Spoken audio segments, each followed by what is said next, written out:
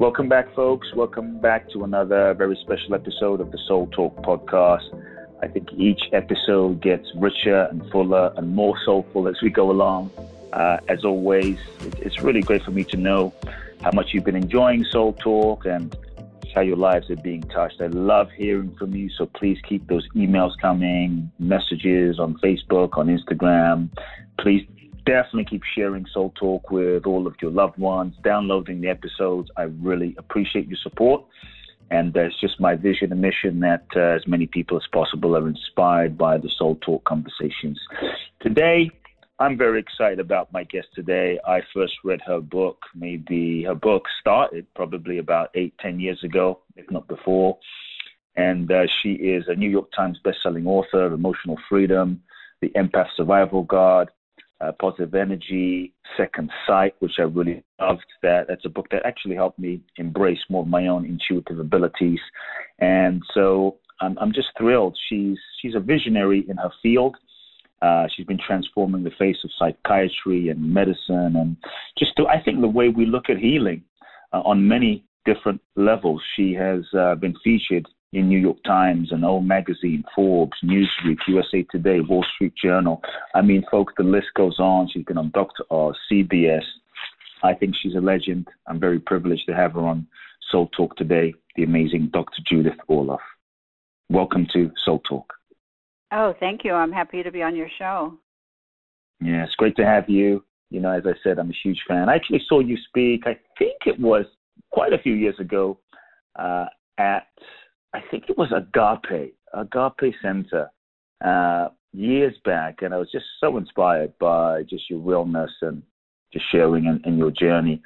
Uh, uh, one thing I always like to do, just to, for a short moment in the beginning, uh, is just just just to set a context on your journey. I would I would love to just hear a bit about, uh, especially for those that don't know your journey, a bit about just how did you get to be doing what you're doing as a doctor in psychiatry, transforming uh, psychiatry and you know bringing in intuition and empathy and healing modalities. I know you're you know you work with the UCLA psychiatric. Uh, you're on the faculty of the clinical faculty at UCLA, the psychiatric division. I'd love to hear a bit about your journey as to how you got started in this field. What was the journey? What what what prompted you to move into doing what you're doing now?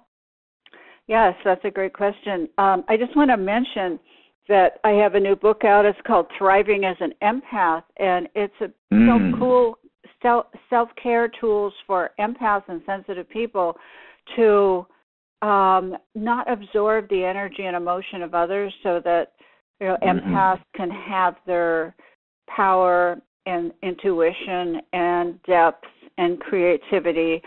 Um, and mm-hmm. so that's coming out right now, and I'm on a book tour and I want to say that I'm a psychiatrist and an empath. And as mm. an empath, what that means is that I have the attributes that I mentioned in terms of intuition. I feel very strongly about listening to your inner voice and connecting deeply mm-hmm. with that um, connection to nature. Empaths are often compassionate and intuitive and loving, um, but they have certain challenges where they don't mm-hmm. have the normal filters that other people have.